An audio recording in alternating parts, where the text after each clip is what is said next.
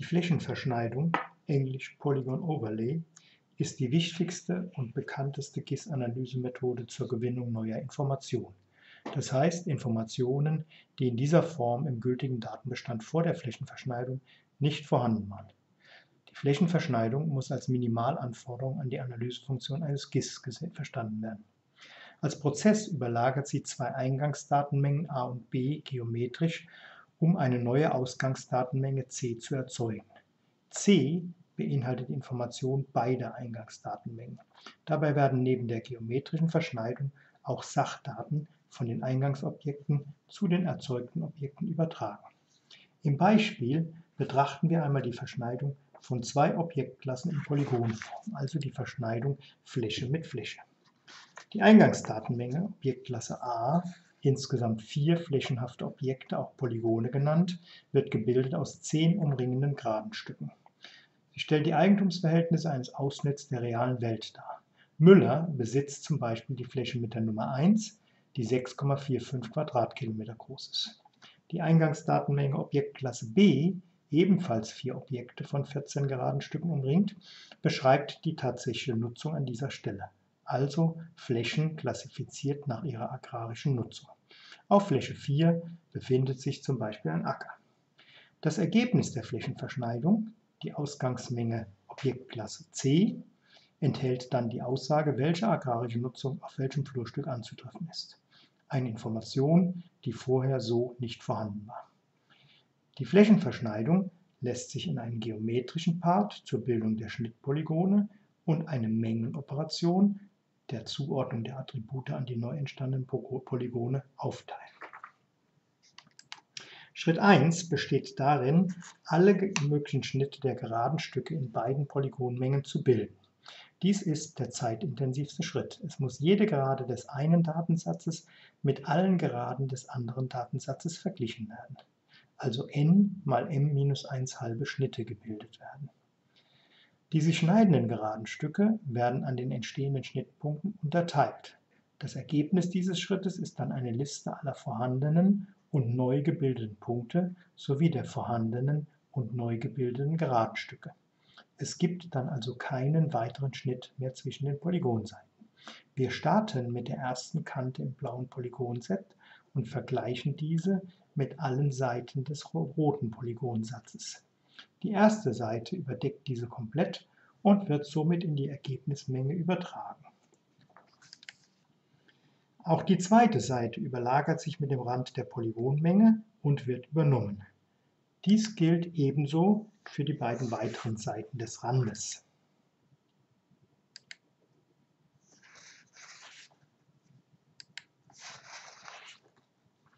Die nächste blaue Seite schneidet nun eine rote Polygonseite.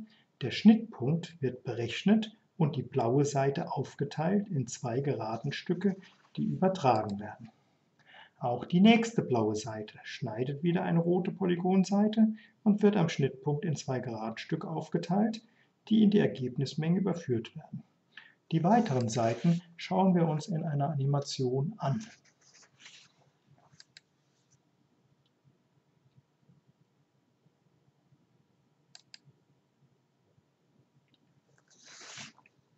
Analog werden nun alle roten Seiten gegen Schnitte mit den blauen Seiten getestet. Die erste betrachtete rote Seite teilt die blaue Randseite in zwei geraden Stücke und dies läuft dann analog für alle roten weiteren Linien ab. Die nächste rote Seite erzeugt zwar keinen Schnitt, sie bleibt aber als Polygonseite komplett erhalten.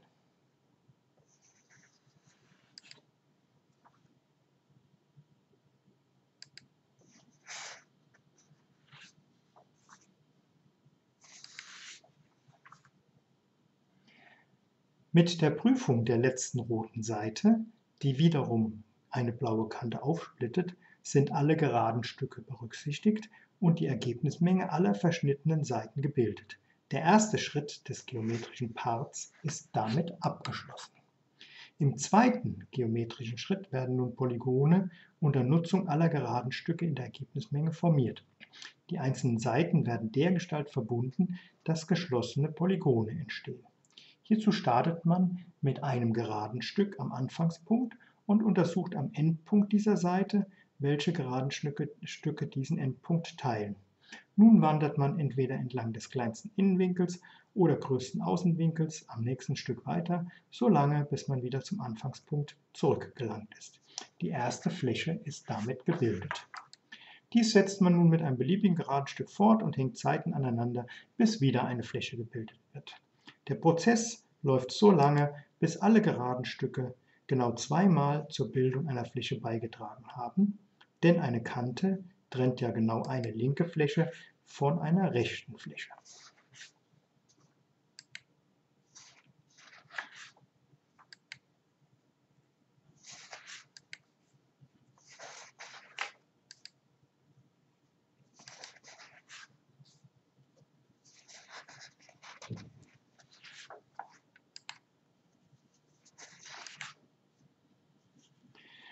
Obwohl es nun so aussieht, als ob alle Flächen vorliegen, sind wir noch nicht fertig, denn die Randseiten sind alle bisher erst einmal genutzt. Also müssen wir die Randseiten ebenfalls miteinander verbinden und bilden so die imaginäre Außenfläche. Das Ergebnis ist damit eine Liste geschlossener Polygone, nämlich aller Polygone, die aus der Verschneidung resultieren können. Dies sind in unserem Beispiel zwölf. Die geometrischen Schritte sind beendet und es geht nun an die Attributzuordnung an die neu gebildeten Flächen. Jedes Ergebnispolygon wird auf den Schnitt von zwei Eingabepolygonen geprüft. Hierbei werden Teilflächen der einen oder anderen Eingangsdatenmenge identifiziert, die nicht innerhalb der anderen Eingangsmenge liegen. Jedes Ergebnispolygon hat zwei Eingangspolygone, die es formen. Als einzige Ausnahme denkbar ist der Fall, dass sich die Eingangsdaten nicht schneiden. An das neu gebildete Polygon wird dann die Sachinformation aus den beiden Eingangspolygonen übertragen. Die Attributübertragung kann auf zwei verschiedene Arten geschehen. Beim Join übertragen wir die Attribute beider Polygonmengen an die entstandenen Teilpolygone. Schauen wir uns einmal das neue Polygon 1 an. Dies entsteht aus einem Stück des blauen Polygons 1 und erhält somit von dort den Eigentümer Müller und gleichermaßen trägt das rote Polygon 2 bei, sodass die Landnutzung Brache übernommen wird. Beim Relate oder Link setzen wir hingegen nur Verweise auf die Originalattribute. Hier speichern wir also nur die Verweise zum Eigentümer Müller und zur landwirtschaftlichen Nutzung Brache. Der Join empfiehlt sich also, wenn die Ausgangsdaten sich eher nicht mehr ändern, der Verweis hingegen, wenn sich die Ausgangsattribute häufiger ändern und der Join ist natürlich speicherintensiver als das Relate oder Link.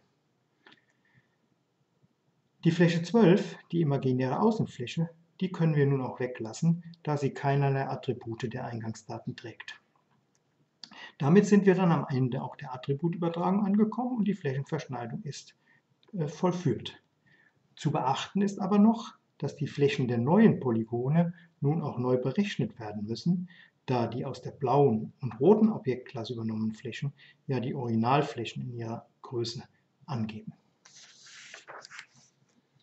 OpenGeoEDU ist ein vom Bundesministerium für Verkehr und digitale Infrastruktur im Rahmen des Modernitätsfonds gefördertes Verbundprojekt unter Führung der Professur für Geodäsie und Geoinformatik an der Universität Rostock.